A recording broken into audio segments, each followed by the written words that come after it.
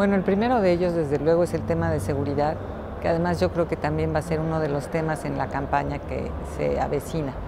Es inadmisible que todas las mañanas nos despertemos con noticias a propósito de degollados, de ejecutados y que no sepamos hacia dónde va la política del gobierno. La sociedad está esperando respuestas nuevas y una valoración eh, ponderada, cuidadosa y honesta de los resultados de la política que se han llevado a cabo. Un segundo tema creo que se va a imponer es el de la educación. Por condiciones políticas adversas, por alianzas, por eh, movilizaciones, en fin, demandas, eh, condiciones mismas del gremio magisterial, hemos descuidado un eh, capítulo absolutamente central, ya no digamos para el México actual, sino para el futuro.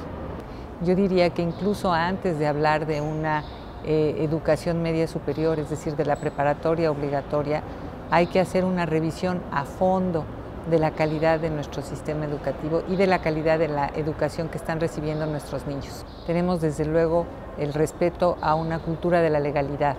No podemos seguir viviendo a merced de las decisiones arbitrarias de las autoridades. Tenemos que tener la certeza de que la ley se aplica y de que la ley es una ley que nos va a ayudar a vivir en forma civilizada.